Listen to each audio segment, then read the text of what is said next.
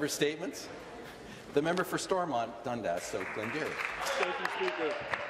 Last week, the Mental Health Commission of Canada hosted their first Father's Day at the Park reception here at Queen's Park. Not only did this reception focus on men's mental health and the unique challenges they face, it also offered a safe and supportive environment for guests to gather and have conversations about mental health. We were honoured to have Steve Jones as a guest speaker sharing invaluable insights into his personal journey in contributing to destigmatizing mental health. As Father's Day approaches, let's make a concerted effort to check in with our fathers, sons, and brothers.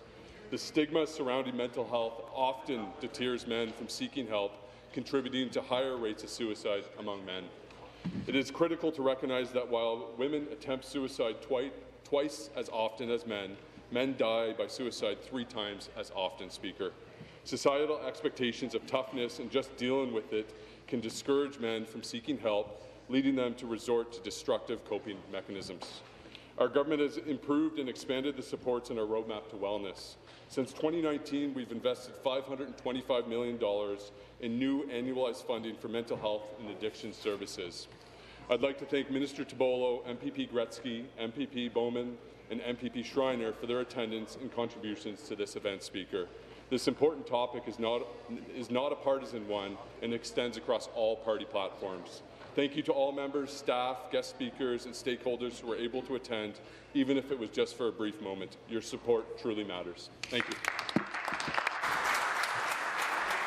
Thank you. Member statements. The member for University Rosedale. Thank you, Speaker. This week I met with the National Council of Canadian Muslims to discuss the rise of um, Islamophobia in Ontario of the multiple incidents of violence targeting Muslim communities and mosques, of the hundreds of cases of mistreatment of Muslim and Palestinian staff and students in schools across Ontario, often directly connected to the conflict in Gaza. Their experience mirrors the calls and emails we are receiving in our office from residents who are devastated by the loss of life and security in Gaza and fear the worrying rise in discrimination here in Ontario, which is far bigger than official statistics because most hate crimes and hate incidences in Ontario go unreported. Public dialogue about the humanitarian catastrophe in Gaza has been so divisive and has harmed relationships between neighbours, colleagues, friends and Ontarians. The National Council of Canadian Muslims has been clear in what they want Ontario legislators to do. Take proactive steps to halt the harassment and discrimination of Muslim, Arab and Palestinian Ontarians by reviving and passing the Our London Family Act, which includes an anti-hate strategy for the province and changes to education. It is a request that I support. It is a move that many of us in the legislature support. It is a concrete step we can take to advance peace and diversity here in Ontario. Thank you. Thank you very much. Member statements. The member for Brampton West. Thank you, Mr. Speaker. I rise in the House today to share two significant milestones for the residents of Brampton. The first milestone I want to celebrate is our government bringing a second hospital to Brampton. A request for qualifications has been issued to select a qualified team to design and build the project, which will include a multi-story patient tower, expanded clinics, and Brampton's second emergency department. Once complete, the community will be well served by a world-class hospital which will deliver the comprehensive health care that the residents of Brampton deserve. Mr. Speaker, the second milestone I'm pleased to share in the progress is the progress being made on bringing the first school of medicine in the province in 15 years. Wow. And over 150 years in GTA, Mr. Speaker. It will find its home at the Toronto Metropolitan University. Our government is ensuring the next generation of medical professionals will be trained in Brampton, in Ontario, for Ontarians. Mr. Speaker, in closing, I want to extend my deepest gratitude to the partners involved in these projects. Thank you to Dr. Frank Martino from William, William Osler Health Team and Mohammed Lachemi from the Toronto Metropolitan University. Your visions and collaboration have made these achievement advancements possible, and the people of Ontario will be better supported because of our work together. Thank you, Mr. Speaker. Thank you. Member statements. The member for Nickel Belt. Thank you, Speaker. Mine Mill Unifor Local 598 members from Sudbury, including the members from Sudbury's dads, traveled to the headquarters of Jarlette Health Services on Monday to hold an information picket in support of the workers at the Elizabeth Centre in Val Caron. Why did union members from Sudbury get on a bus early in the morning, travel three hours to Minden, Speaker? Because the workers at the Elizabeth Centres have been without a collective agreement since 2022. Two long years. This is happening under this government's watch. With so little resources at the Minister of Labour, once an employer asks for arbitration, it doesn't take days, weeks, or months. It takes years. That's right, Speaker. Retiree and workers on their day off travel down to the headquarters to remind management that these workers are without a contract. The Elizabeth Centre is a long-term care home in my riding. They house 128 residents. The Unifor members working there look after frail, elderly residents. They are dealing with the same cost of living challenges that every other Ontarians face. Many of them can barely afford rent, never mind a car payment. They need a new collective agreement now. But here we are, two years after their last contract ended, these workers are left to wait, wait, and wait some more. I hope this government agrees that this must stop. These workers need a new collective agreement, and they need a collective agreement right now.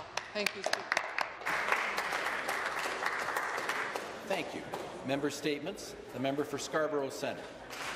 Thank you, Mr. Speaker. I commend our government effort to integrate youth into skilled trade amid high unemployment and labour shortage. This is a big game change for Scarborough Centre youth. Significant enhancement in the Ontario Youth Apprenticeship Program, supported by the Ministry of Labour, Immigration, Training and Skills Development and the Ministry of Education. We launched uh, 68 new pre-apprenticeship programs for 2024-25, now engaging over 1,700 participants, with women comprising of 30% of skilled trade in the labour force. We have also expanded the apprenticeship program to include recruit across 800 schools and introducing a mandatory technological education credit for high school graduates beginning in September 2024. Our Premier and the Minister of Labour, Training and Skills Development, Ministry of Education, various unions, community partners have been instrumental in achieving this. Now, 1.3 million pe people work in skilled trade with over $1.5 billion invested since 2020. Wow. Thank you, Mr. Speaker. Thank you very much. Member statements. The member for London Fanshawe. Thank you, Speaker. I rise today to pay tribute to a dear friend, Colleen Wake. As the youngest of six siblings, she was lovingly referred to by her family as the baby sister. Her sons, Alex and Colleen, along with her family, are deeply saddened by the loss of their beloved mother and sister. Colleen joined Kinsman London Club in 1996, and she immediately took on roles of leadership in public speaking, was elected to an executive level, and then as a governor.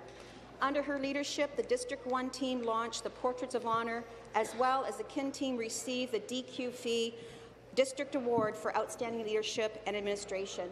In 2022, she received the KIN Lifetime Membership. Beyond her volunteer work, Colleen was an NDP supporter. Colleen worked at CAMI Automotive. At work, she learned sign language to support a colleague with hearing challenges to demonstrate her dedication to her co-workers. Her many accomplishments reflected her heart, her hard work, intelligence, and fun-loving spirit. Despite her leadership qualities, Colleen always said she wouldn't run for politics. She would tell me, I can't put up with that stuff. Our thing was going to movie nights, and that was filled with laughter. I always bought a noisy bag of licorice candy to open during the movie because she would shush me, and that was a joke between the, us. If she knew I was making the statement about her, she'd say, Don't make a big deal about me. And I would say to her, you meant so much to everyone you connected with, and you changed lives without even knowing. Your kindness and willingness to help others and your relentless honesty, whether we wanted to hear it or not, made a difference.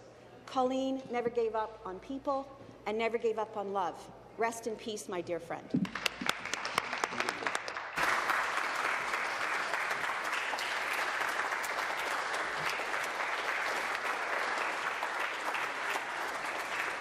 Thank you very much.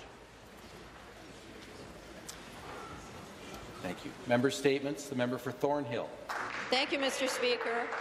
Last week, the Thornhill Presbyterian Church celebrated their 175th anniversary, marking 175 years as a vibrant, multicultural, and intergenerational congregation. You know, from its humble beginnings on Yonge Street to its current location, just down the road from my office, the church is a testament to a solid and historic area with almost two centuries of community stewardship. Historically, picnics were literally gala events and one of the social highlights at the TPC. Football matches, bicycle races, strawberry socials, it all happened on the grounds. Speaker, this congregation played a pivotal role in the foundations leading to modern-day Thornhill. In 1885, Toronto's first commuter railway, the Metropolitan Radial Railway York Simcoe, was opened, just steps away from the church. And if we look back as early as the 19th century, the location served as a critical junction for transportation. It was the natural pit stop for travelers moving north. Uh, a member of the congregation who also worked at the Ontario uh, Department of Highways ensured that local pictures of the radial car included a photo of the church. E.J. Sands Elementary School was named after Eilert Sand, also a member and school superintendent back in the 1950s. His son, who I've met, late, uh, Richard, later went on to be a minister at the church. There is so much history in Thornhill, and as my father used to say, sometimes you have to look behind you before you know where you're going. Thank you, Reverend Heather and the congregation for your hospitality. As we celebrated 175 years at Thornhill Presbyterian, may there be 175 more. Thank you.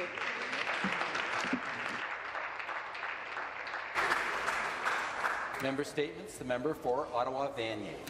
Mr. Speaker, last week I joined the residents of Ottawa Vanier as they kicked off the summer with festivities across the riding.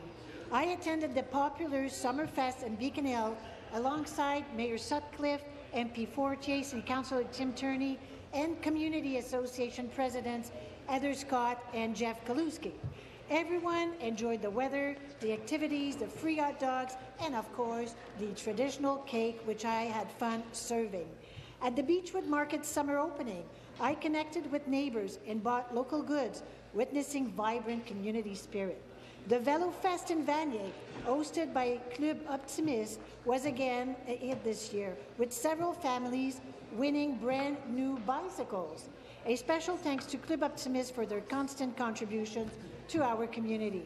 The wonderful lobster dinner organized by the Club Richelieu was also very successful. Several volunteers and students from l'École élémentaire publique Le Prélude tended to all the guests, and the band performance by the school was simply a delight. June will continue to be busy with AGMs, graduation ceremonies, fundraising events, tea party, and so much more.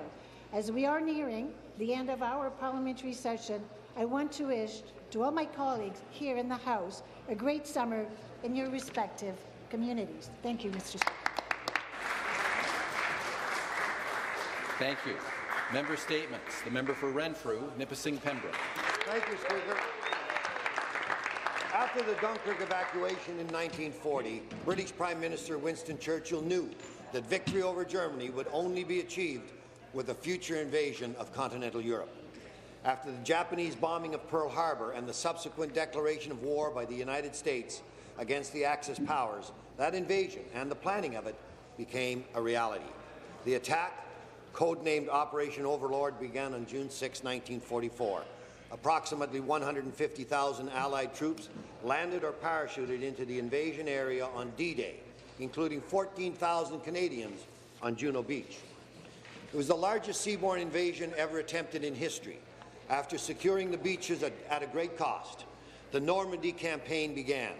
As the Americans battled on the western end of the front and struggled to take the prize port city of Cherbourg, the British and Canadians waged war around the Norman capital city of Caen.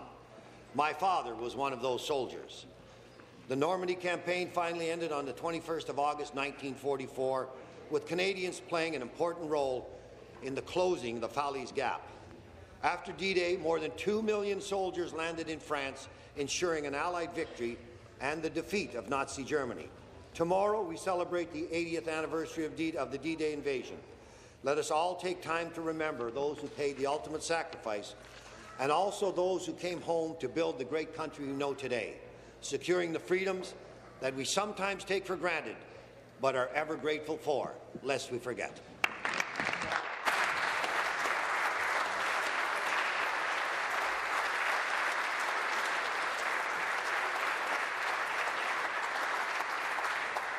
Thank you.